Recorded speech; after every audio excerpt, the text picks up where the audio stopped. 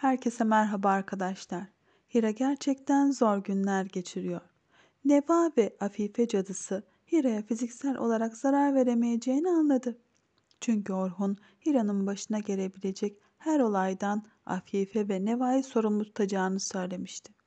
Bu nedenle Afife Hira'nın bir ailesi olmadığını ve köksüz olduğunu söyleyerek hakaret etti. Afife Hira'nın kendi isteğiyle evlenmekten vazgeçmesi için psikolojik savaş açtı. Ayrıca Perihan Hira'yı öldürmekle bir kez daha tehdit etti. Hira hem Afife'nin söylediklerinden hem de Perihan'ın tehdidinden Orhun'a bahsetmeyecek.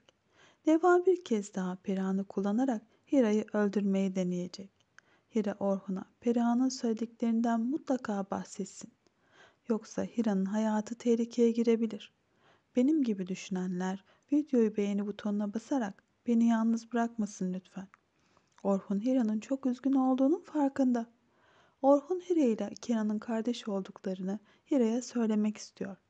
Diğer tarafta Kenan öldüğünü düşündüğü küçük kız kardeşinin yaşadığını öğrendi. Kenan için bu haber hem üzücü hem de hayatta yalnız kalmadığını öğrendiği için mutlu bir haber olacak. İki kardeş olan Hira ve Kenan artık kavuşmalı. Çünkü her ikisi de çok üzgün ve ikisi de mutlu olmayı hak eden iyi kalpli insanlar. Hira ve Kenan'ı sevenler yoruma kalp emojisi koymayı unutmasın lütfen. Kenan mektubu okuduktan sonra çok şaşıracak ve Nurşah ile konuşacak.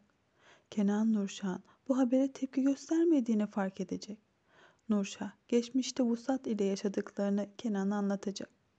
Orhun DNA testinin sonucunu öğrenecek. Orhun Hira'ya artık yalnız olmadığını, bir erkek kardeşi olduğunu ve bu kişinin de Kenan olduğunu söyleyecek. Hira ve Kenan'ın kavuşma anını izlemek için ben sabırsızlanıyorum. Sizler de değerli düşüncelerinizi bizimle paylaşmayı unutmayın lütfen.